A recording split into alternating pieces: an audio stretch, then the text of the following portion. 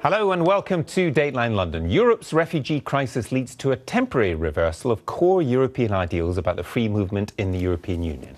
Is this much more than financial matters, the crisis which could drive the EU to breaking point? Plus, Jeremy Corbyn as Britain's Labour Party leader. My guests today are Annalisa Piras, who's an Italian writer, Abdul Bari Atwan, who's an Arab writer and broadcaster, Alex Dean of Conservative Home, and Agnes Poirier of Marianne. Corbyn, as new Labour leader, has succeeded in one big way this week. He has dominated the news and fundamentally shaken up British politics. But is he a breath of fresh air? Or is he someone who could keep Labour out of power for many years to come? Or possibly both? I mean, how, how do, you, how do you see him? I mean, it's been a very difficult week for him. Mm. Oh, well. Um, you know, it's been a week. You don't know whether it's a triumph or, you know, uh, despair. You don't know whether it's a revolution or counter revolution because mm. Perhaps it's Labour, you know, uh, reverting to type, you know. Um, then probably um, part of, of, Labour should, or the centrist, let's say, of Labour should create a new party. Mm. Um, they Although never, smaller parties to... get punished in Britain, as we well know. Uh, well, the, the yeah, but, nearly broke through. Exactly. They nearly did, but, uh, but mm. if it wasn't for the Falkland uh, War, but yeah. perhaps they were polling at nearly fifty percent when the Falklands. Yeah, yeah mm. exactly. So you never know, and nobody expected anyway a return to Trotskyism.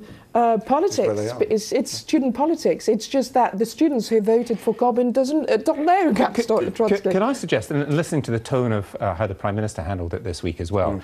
It would be very foolish to underestimate any of this, though, because it was a big surprise to everybody. I take it everybody around this table that Jeremy Corbyn is the leader of the party, or it certainly was three months ago. Yeah. Secondly, uh, he has uh, he seems to strike a chord with some people that other politicians don't in terms of quote, authenticity is sure. the word that's often used. So there's something going on in politics which politicians have not quite grappled with, oh, of, of, any party. I yeah? think there's two things. The first is that um, there's a strain of populism that's increasingly true across uh, many countries, and it's not a left or right issue. Donald Trump is the same mm-hmm. kind mm. of populist straight talker. What you see is what you get. Or UKIP, actually, Farage. Uh, well, I, yeah, but of course Farage is actually a 20-year um, European institution politician professional.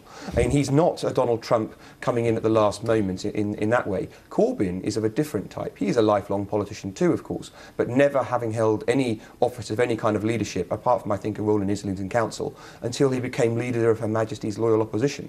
So point one is this very strange um, strain of populism, which can carry you all the way to great office. So we must not underestimate that, you're, you're right. But Blair but, didn't.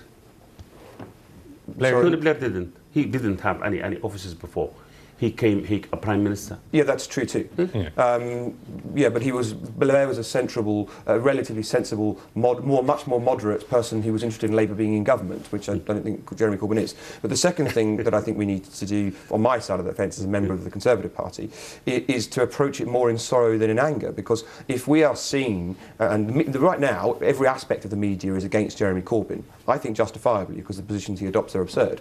But if we are seen to be bullying someone that the public doesn't really, hasn't really heard of much, very much, and the very first time they saw him probably was when he didn't sing the national anthem. That might be the, at uh, a memorial service. That might be the first time they really noticed him. So we need to, I think we need to approach it with slightly gentler gloves than we might be inclined to, given that the Prime Minister says Hamas and Hezbollah, sorry, the leader of the opposition says Hamas and Hezbollah are his friends. The Shadow Chancellor uh, believes in fomenting the fall of capitalism. That was his hobby listed in Who's Who. and they've just appointed their, as their education spokesman in the Lords a convicted arsonist, Lord Watson, who you might, might have covered in the Scottish uh, Scottish days. So I mean, it's very easy to go over the top in attacking them, and actually I think we need to come back and let them f- fall themselves. But I can I know that there are people who are readily listening to that who are thinking it's uh, it's the London bubble, it's the mainstream parties, it's the mainstream media. Give the man a chance, and you you've nodded towards that. Sure. You know, I'm I'm really shocked and surprised. You have been lecturing us in the Middle East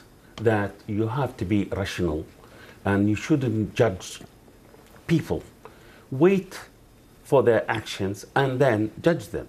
So what amazed me in this country you know that after a week this man was elected in a very democratic way after but just a week just a week ago. He's been more, 32 years in parliament okay. was, was because Alex because because you know this is your politics here because they don't give a chance to people like him. And in the end the people are fed up of this stagnation on the British politics, and they decided to give their vote to somebody else. What it is is a fresh air. You know, it's, it is not due to Judge Alex. It is the people. Who he was elected by 60% of the Labour members. of his okay? party. Of I'm his party. I'm so we have to to respect that. I'm entitled to a view as a British citizen who's a resident in this country and votes here too, but I'm perplexed by this kind of chippiness that you, you have about Britain lecturing you and telling you you have to wait. What is it you're so concerned about, and wh- why do you have this prolonged grudge against the West, which affects everything, up to and including your view on Jeremy Corbyn's leadership of the Labour Party? It's a bit weird. It's, you know, you, you are you are making pers- personal now.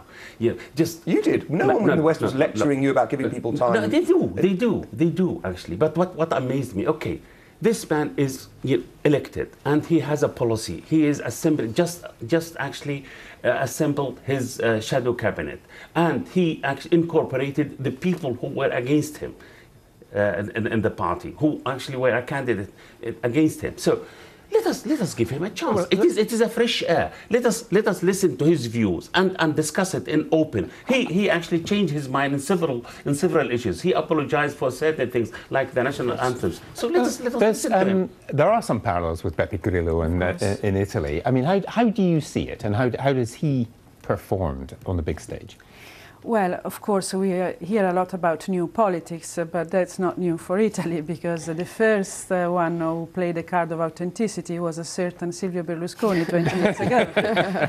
I'm who I am. Another outsider. yeah, and, uh, I'm who I am, and and uh, you have to take me for what I am. But uh, that was more than 20 years ago, and at the time there was incredulity, which uh, is what we see now. And I would uh, strongly suggest that people start taking uh, Jeremy Corbyn seriously, because that's what happened with Berlusconi. Nobody was taking him seriously, and it ended up not that well. so Some uh, people didn't get the joke in the end because yeah. he was a very successful at getting elected as prime minister. very successful and he was authentic and authenticity works and it works even better now than it was uh, 20 years ago i must say that i have a wonderful memory of jeremy corbyn because uh, i used to um, talk to him quite a lot when i arrived in london 17 years ago as a foreign journalist. And he was uh, the only mp that i met. He was incredibly generous with foreign journalists. He was making time. He was very helpful. I have the memory of someone of great integrity and generosity. And it doesn't surprise me that people trust him and have given him the mandate because uh, for years we have heard that people don't trust politicians anymore. And actually, someone come along that has this amazing capacity to inspire trust, and everybody's laughing. So I think that it's important. No, I wouldn't say. got I wouldn't say 30 everybody's seconds left. laughing. No, a, lo- a lot of people are people, sneering. uh, No, people They're sneering, perplexed. They are perplexed. They are surprised. They are stupefied. But you know, he's the, now the head of the, the principal party of the opposition.